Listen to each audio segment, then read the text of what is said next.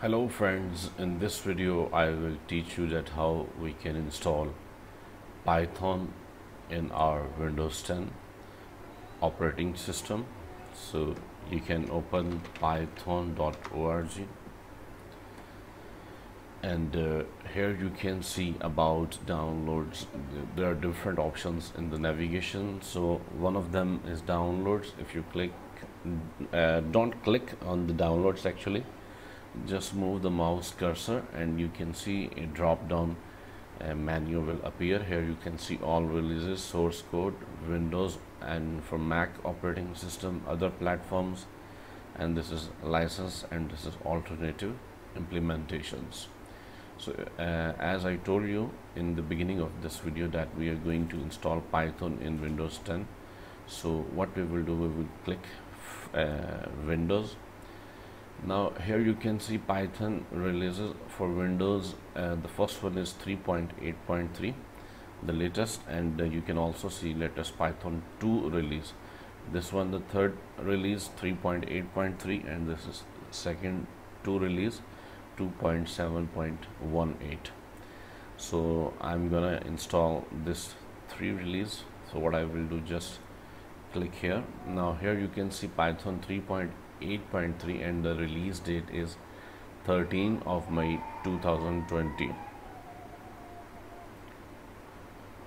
so just scroll down. And here you can see the files. So in these files list you can see uh, in the bottom you can see Windows x86 web-based installer executable installer and embeddable zip file. So this is if uh, you are using Windows 32 then you can uh, install one download one of them. And if you are using Windows 64 um, so you can use one of them. So I will show you that how you can see uh, which one you have 64 or 32 bit. So you can minimize this window and this PC you can right click properties. And here you can see like the system type 64 bit operating system.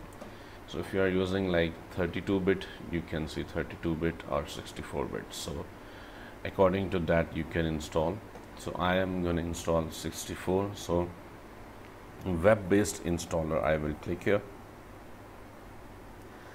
And you can see uh, it has been downloaded exe file python so web install.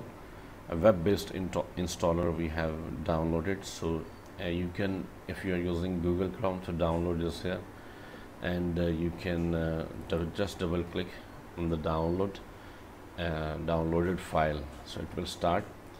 And it's asking like install python 3.8.3 for 64 bit and uh, add one more thing and check this option add python 3.8 to path. So this is mandatory uh, and you can check this.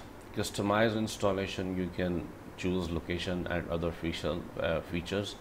So just click on install now and uh, just click yes.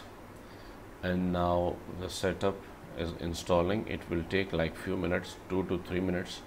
So you can see it started so I will pause the video as soon as this complete. I will resume. So you can see setup was successful and uh, setup has been installed.